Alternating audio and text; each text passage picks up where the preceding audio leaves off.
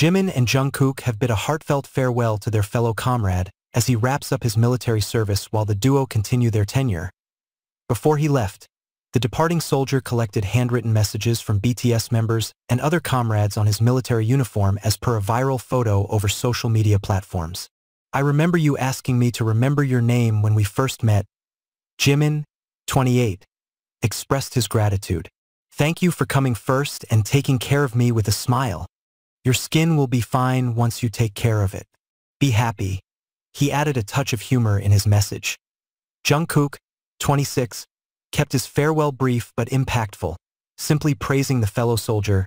You did a good job.